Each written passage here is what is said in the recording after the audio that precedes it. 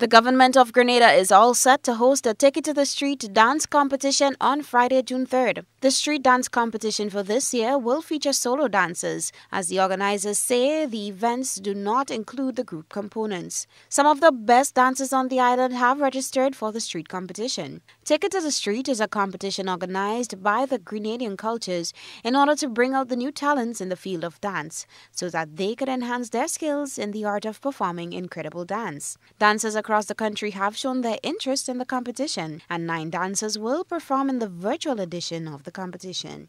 They are Akim Collins, Raquel Thornhill, Shade Coutain, Antonia Welsh, Josh Robertson, Akin Francis, Jaquino Lewis, Malcolm Julina, and Ronnie Young. Take It to the street dance competition will be streamed live on the Grenadian Cultural Facebook page from 7 p.m.